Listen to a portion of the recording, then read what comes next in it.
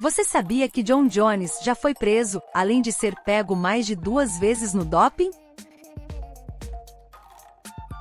John Jones é um lutador de artes marciais mistas, MMA, nascido em Rochester, Nova York, em 19 de julho de 1987. Ele é amplamente considerado um dos melhores lutadores de MMA de todos os tempos, com um registro profissional de 26 vitórias, uma derrota e um sem resultado.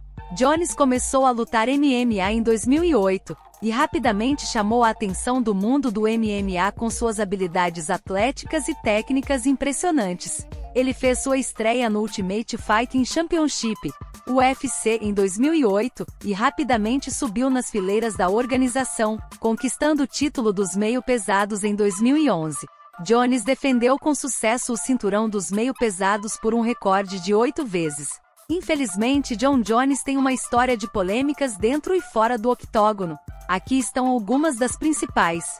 Doping. Jones testou positivo para substâncias proibidas em três ocasiões diferentes, sendo a primeira em 2015 por cocaína e as outras duas em 2016 por um inibidor aromatase e um esteroide anabolizante. Ele foi suspenso pela Comissão Atlética do Estado de Nevada e pelo UFC em todas as três ocasiões. Acidente de carro. Em 2015, Jones foi preso após um acidente de carro em Albuquerque, Novo México, que deixou uma mulher grávida com um braço quebrado. Ele fugiu da cena do acidente, mas foi encontrado pela polícia horas depois. Ele se declarou culpado de acusação de fuga do local do acidente e foi sentenciado à liberdade condicional. Problemas com a lei. Jones também teve outros problemas com a lei, incluindo uma prisão em 2012 por dirigir embriagado e uma prisão em 2020 por dirigir sob influência. Além disso, em 2019 ele foi acusado de agressão após supostamente bater em um homem em um bar. Questões contratuais. Em 2020, Jones entrou em uma disputa com o UFC sobre seu contrato e salário.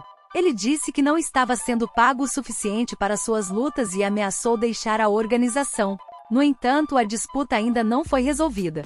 Problemas pessoais. Jones também teve problemas pessoais, incluindo internações em clínicas de reabilitação e brigas com membros da família. Deixe seu like, até a próxima!